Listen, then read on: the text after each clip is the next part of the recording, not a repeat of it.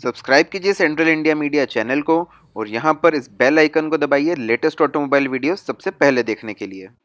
Friends, ये है Royal Enfield Bullet trial works replica 350 ये रेप्लिका इस गाड़ी को इसलिए बोला गया है क्योंकि जो ओरिजिनल बुलेट ट्रायल थी, उसको रॉयल एनफील्ड ने 1948 में लॉन्च करा था और वो पहली प्रोडक्शन मोटरसाइकिल थी जिसमें स्विंग आर्म सस्पेंशन यहाँ पर हम लोगों को ऑफ़र करा गया था प्रोडक्शन मोटरसाइकिल के अंदर। ये जो गाड़ी है, ये कहीं ना कहीं उसी 1948 की जो ट्रायल्स ओरिजिनल गाड़ी आई थी, उसके ऊपर बेस्ड है।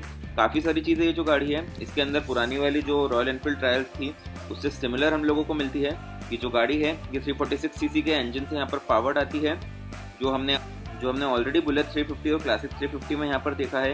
ये जो इंजन है 20 पी का पावर और 28 एनएम का टॉक जनरेट करता है। इस तरह का बैजिंग यहाँ पर मिल जाता है। रॉयल एनफील्ड ट्रायल्स रेप्लिका का। ये जो गाड़ी है, ये 1.62 लाख एक्स शोरूम इंडिया की प्राइस पर यहाँ पर कंपनी ने ऑफ़र करी है और ये कहीं ना कहीं नौ हज़ार रुपये का ऊपर प्रीमियम चार्ज करती है कंपेयर टू बुलेट मॉडल अब अपस्टॉप एग्जॉस्ट उस गाड़ी के अंदर हम लोगों को मिल जाता है, कुछ इस तरीके का दिखता है। पीछे का फेंडर भी अगर आप लोग देखेंगे, थोड़ा सा रेस मिलता है। तो कहीं ना कहीं ऐसा लगता है कि ये प्रॉपर एक ऑफ़ रोड वर्जन है जो हमारी ओरिजिनल बुलेट 350 आती है। स्क्रैम्बलर जैसा लुक इसको यहाँ पर दिया गया है। एडवेंचर फ्रेंडली इस गाड़ी को बोल सकते हैं। ड्यूअल पर्पज टायर्स मिलते हैं। पीछे डिस्क ब्रेक हम लोगों को इस गाड़ी के अंदर दिए गए हैं। तरीके का लेआउट मिलता है। डिस्क ब्रेक का स्पोक व्हील्स मिल जाते हैं। जो इसकी प्राइसिंग है अभी तो इस रेंज में कोई भी स्क्रैम्बलर गाड़ी यहाँ पर अवेलेबल नहीं है तो कोई कंपटीशन नहीं मिलता। स्प्रिंग लोडेड सीट मिलती है। सिमिलर सीट हम क्लासिक 350 में ऑलरेडी देख चुके हैं। 350 सीसी का एयर कूल्ड इंजन मिलता है। इस तरीके का जैसा कि मैंने बताया 346 सीसी का इंजन है ये, जो 20 पीएस का पावर और 28 एनएम का टॉक यहाँ पर जनरेट करता है। हैंडल बार चेंज करा है। बुलेट 350 और क्लासिक 350 के कंपेरिजन में यहाँ पर डिफरेंट हैंडल बार हम लोगों को मिलता है। स्विच गियर कुछ इस तरीके का यहाँ पर दिया गया है। हाई बीम के स्विच पास का स्विच इंडिकेटर के स्विच लेफ़्ट साइड में। इस तरह का यहाँ पर इंस्ट्रूमेंटेशन मिलता है। लो फ्यूल का वार्निंग लाइट एक एबीएस का वार्निंग लाइट दिया गया है। दोनों ग्लो करते हैं। ऊपर एक एनालॉग स्पीडोमीटर और एनालॉग ओडोमीटर मिलता है। तरीके की की मिलती है। हैंडल लॉक साइड में दिया गया है। क्रोम फ्यूल फिलर कैप मिलता है। राइट साइड में एक इंजन किल स्विच दिया गया है ऑटोमेटिक हेडलैम्प ऑन के साथ आती है तो एक स्टार्टिंग का स्विच भी हम लोगों को राइट साइड में मिल जाता है। इस तरीके का फ्रंट लुक ऑफ़र करती है। सस्पेंशन की अगर गाड़ी की हम लोग बात करें तो यहाँ पर आप लोग देख रहे हैं कि जो गाड़ी है, इसका जो सस्पेंशन है बेसिकली यहाँ पर कवर्ड है रबर से। कुछ तरीके के टर्न इंडिकेटर्स मिलते हैं जो डिफरेंट है काफ़ी। क्रोम के रियर व्यू मिरर्स मिल जाते हैं। फ्रंट लुक कुछ इस तरीके का हेलोजन हेडलैम्प के साथ में आती है।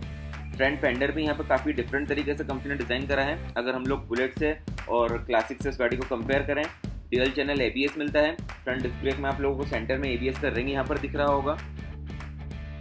इस तरीके का लुक ऑफ़र करती है Bullet trial 350 dual purpose tyres हैं ये सी के, जैसा कि आप लोग देख रहे हैं। कहीं ना कहीं ऑफ़ वाले फीले जो टायर्स हैं यहाँ पर ऑफ़र करते हैं। काफ़ी अच्छी ग्रिपिंग ऑफ़र करते हैं ये, खराब रस्तों पर या कीचड़ वाले रस्तों पर। ये जो गाड़ी है, इसकी फ्रेम आप लोग देख रहे हैं, यहाँ पर रेड कलर में कंपनी ने डिज़ाइन करी है। जिसका 500 मॉडल आता है, उसकी फ्रेम सिमिलरली यहाँ पर ग्रीन कलर में कंपनी ने डिज़ाइन करी है। एबीएस का बैजिंग मिल जाता है साइड में। तरीके का लुक सिल्वर कलर का है ये, जो गाड़ी का पर्टिकुलर मॉडल है। पीछे रियर में यहाँ पर सीट नहीं आती इस गाड़ी के अंदर। कुछ तरीके का कैरियर आता है। अपस्वेप्ट एग्जॉस्ट मिलता है यहाँ पर, जो गाड़ी की ऑफ़ रोडिंग कैपेबिलिटीज है, उसको काफ़ी हद तक यहाँ पर बढ़ा देता है। 350 CC engine carburettor fuel supply के साथ आता है। 500 वर्जन जो आता है इसका, आर ट्रायल्स 500 उसमें फ्यूल इंजेक्शन का ऑप्शन यहाँ पर मिल जाता है। जो गाड़ी है रिसेंटली लॉन्च हुई, इसकी मैन्युफैक्चरिंग डेट जैसा कि यहाँ पेपर देख रहे हैं ट्वेंटी सेकेंड फेबररी है एमपी का फ़र्स्ट मॉडल है ये, जो आप यहाँ पर देख रहे हैं। Exclusive R R automotive Indore पर गाड़ी की फ़र्स्ट डिलीवरी हुई है। एमपी की फ़र्स्ट गाड़ी है ये मध्य प्रदेश की। पीछे रियर सेक्शन गाड़ी का कुछ तरीके का दिखता है। टेल लैम्प्स और इंडिकेटर जो इस गाड़ी के हैं कम्प्लीटली रीडिजाइंड है यहाँ पर। रॉयल एनफील्ड की अभी करंट जो लाइन है, उसमें किसी भी गाड़ी में सिमिलर सेटअप हम लोगों ने यहाँ पर नहीं देखा है। इस तरीके का ओवरऑल लुक ऑफ़र करती है। R E trial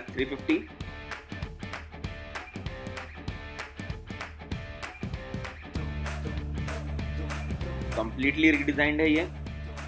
गाड़ी का जो सस्पेंशन और जो चेसिस है कंपनी ने पूरी तरह से यहाँ पर रिडिजाइन करा है। सिर्फ़ इंजन सेम है यहाँ पर, बाकी गाड़ी का जो चेसिस है, सिर्फ़ आगे का सेम है। मिड पॉइंट से लेकर पीछे तक जो चेसिस है, वो कम्प्लीटली रीडिजाइन मिलता है यहाँ पर। बुलेट या क्लासिक से कॉपी नहीं करा है। जो गाड़ी है, जैसा कि मैंने बताया कार्बोरेटर फ्यूल सप्लाई सिस्टम के साथ में यहाँ पर आती है। और जो current B S four norms country में चल रहे हैं, उसको यहाँ पर ये जो गाड़ी है, कहीं ना कहीं सेटिस्फाई करती है। डीएल चैनल एबीएस का ऑप्शन भी यहाँ पर मिलता है। करते हैं हम लोग ट्रायल 350 को स्टार्ट और देखते हैं गाड़ी का स्टॉक साउंड यहाँ पर किस तरीके का आ रहा है।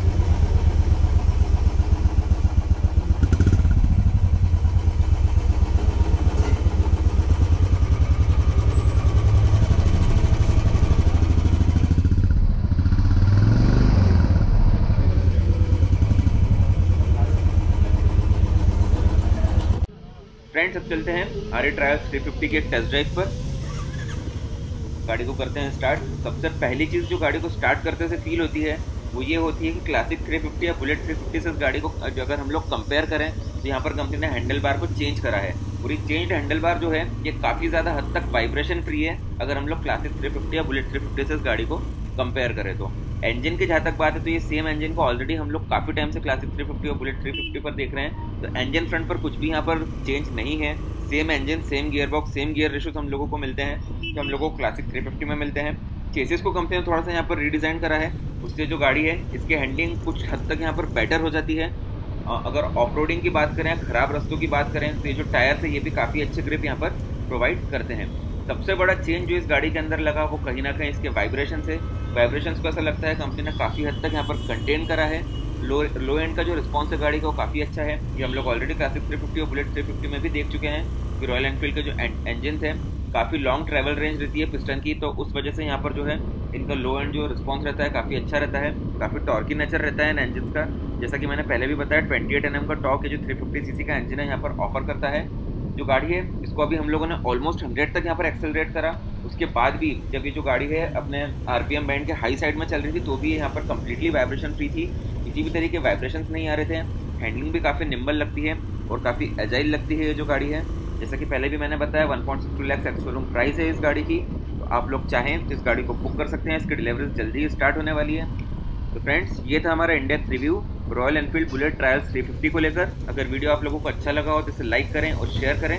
और साथ ही हमारा चैनल सब्सक्राइब करना ना भूलें लेटेस्ट ऑटोमोबाइल अपडेट्स के लिए।